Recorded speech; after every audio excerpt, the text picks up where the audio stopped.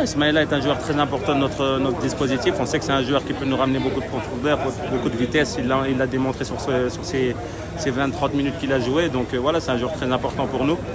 Il ne faut pas donner aussi euh, des mauvaises notes aux autres parce que je pense que Boulet a fait un très grand match. Il a, il a- il a été là défensivement, il a essayé de donner offensivement. C'est très bien, je suis très, très content de lui. Et voilà, on attendait Ismaïla aussi parce qu'il pouvait nous donner un coup de main. Il l'a montré aujourd'hui qu'il peut nous donner un coup de main. Il va pas falloir le brûler parce qu'il revient de blessure quand même. Et on sait que quand on revient de blessure, c'est très difficile. Donc il va falloir le gérer. Et je pense que notre staff est, est bien compétent pour faire ça. Défensivement, c'était comment? Il y a eu ce penalty euh, sifflé.